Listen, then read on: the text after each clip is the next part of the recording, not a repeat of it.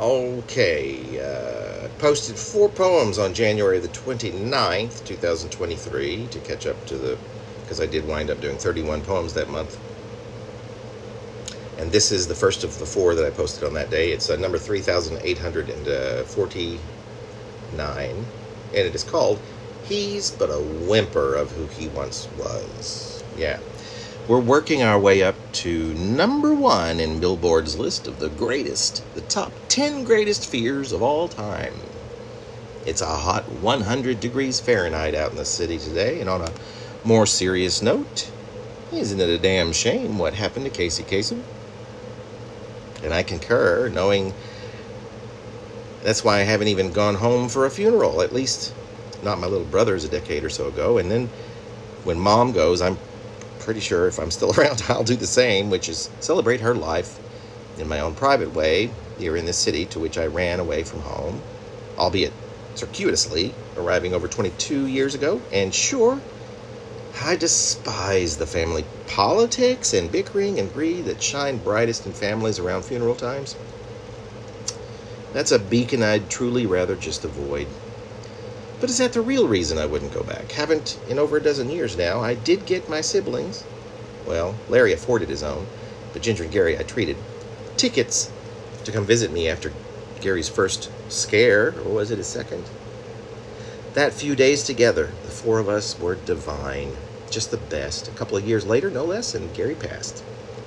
Asphyxiated in his truck after passing out in it late one evening after he'd said he was taking off the story goes that he was obviously too drunk to drive, and so my uncle or cousin or some relative he had been spending time, his time at Aunt Patty's was having none of that. Connived to get the keys from him as each of the adult family members made their ways to wherever work was with all of the kids who were no doubt dropped off at school.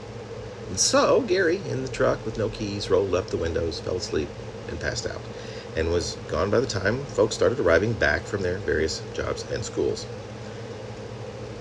Maybe I've embellished this a bit, but the truth is, I wasn't there. I don't know what happened. All I know is that he left this life.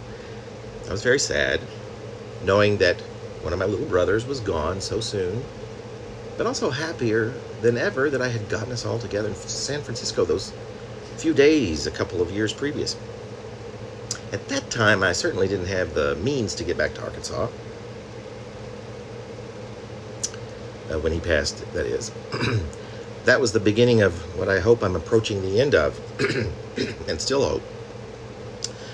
The most difficult years of my life, which included a surprise disappearance by a partner of 10 years, a long bout with a grief so huge that it could be characterized as an overly long illness, which was followed by a great chasm of depression or a continuation of the overly long illness, an eviction, two years of homelessness, six months of which I was working while literally living in the streets,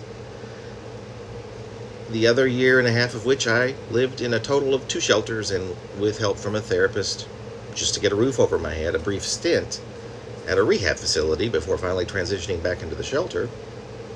The only one in which one might stay within nearly within nearly 24 7, except for the one day of the month when pest control comes. I had left thinking I had a place to stay and a job.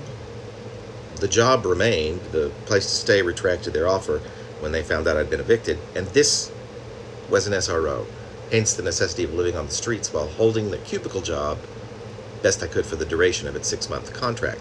And then finally transitioning into a home of my own after I'd been housed almost two full years in a place where I now type this up to toss into the wind in hopes that it will get to you and in which I am presently. I've been four years here, but I should be in a better place soon.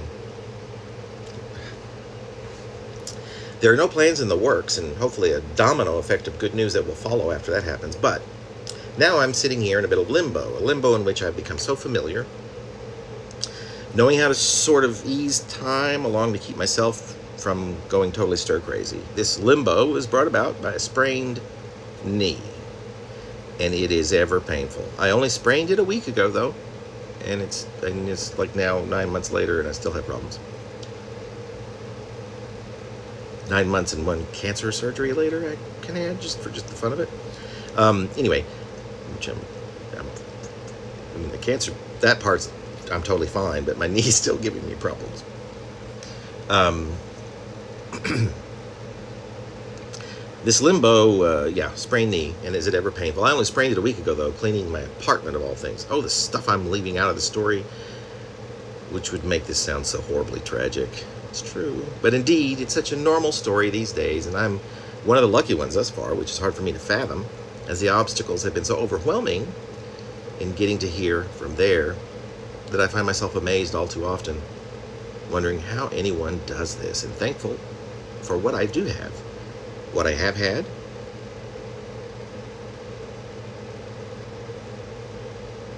That I will survive, etc.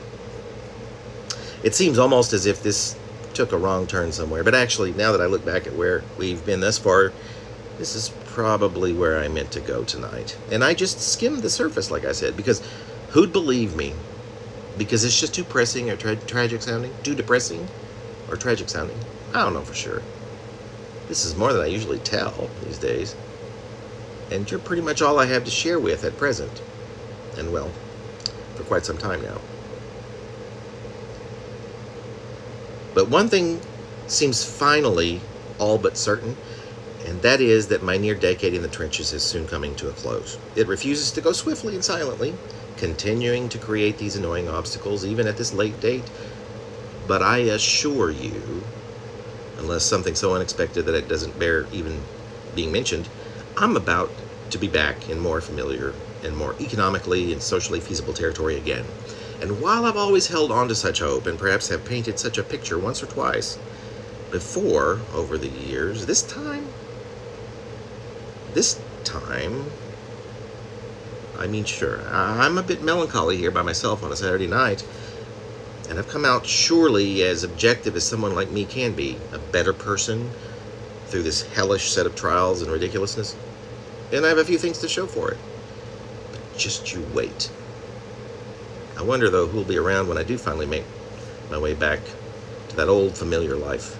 Or will it be familiar? And will any of you even recognize me? If not, it's probably for the better. Who's lucky enough for such a fresh start again, anyway?